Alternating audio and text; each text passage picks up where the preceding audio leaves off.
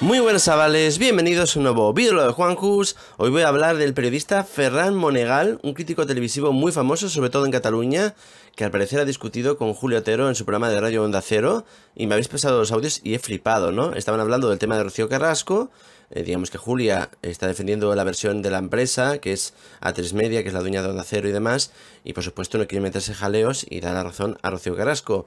Pero Ferran Monegal, que es crítico televisivo y de cierta reputación, no quiere perder su criterio y habla de por qué existe el tema de Rocío Carrasco, ¿no? Habla, por ejemplo, del tema de Carlota, la concursante eh, que fue abusada supuestamente en Gran Hermano, y que para él esta serie ya nació ante el vacío de, contenido de la cadena, ¿no? Que eso es verdad. Y luego también ha hablado de otros casos de abusos, porque el caso de Carota es un abuso que se está investigando, como el del chico este de la Isla de las Tentaciones, que tuvieron que quitar del documental o de la serie, como quieras llamar, y habla de que el ADN de Telecinco es vivir menospreciando a la mujer de toda la vida, desde los mamachichos hasta ahora, ¿no?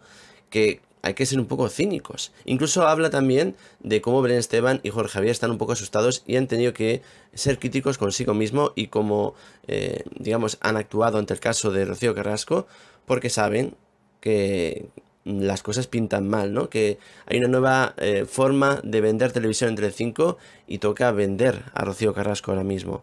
Ha sido muy duro, el Julio Otero le ha llamado un poco al orden, diciendo que ella tiene derecho a hablar, a contar su relato. Él, por supuesto, dice que respeta el dolor de una mujer, pero que todo es negocio. lo que intentaba decir es que todo, todo lo que está sucediendo es negocio y era un plan urdido sobre todo ante la falta de contenidos. Algo que hemos comentado muchísimas veces nosotros, pero que llama la atención que periodistas de renombre como Ferran Monegal, críticos televisivos de toda la vida, eh, den este punto de vista, ¿no? Eh, algo que tiene que abrir un poco los ojos de que no es que fuera de Mediaset sean críticos algunos, no, es que yo creo que los medios, solamente los que, eh, digamos, tienen la orden de no poder opinar del tema de Rocío, el resto están siendo críticos con Rocío Carrasco y con su serial. ¿Vosotros qué pensáis? ¿Habéis escuchado esos audios? Comentad, opinad, darle like al vídeo, suscribirse. Un beso enorme y chao, chao. Si te ha gustado este vídeo, dale a like y suscríbete con campana para más noticias. Y si quieres conocerme, visita también mis vídeos diarios. Tienes cadena Juanjo Blog para más información de la forma más amena. ¡Nos vemos!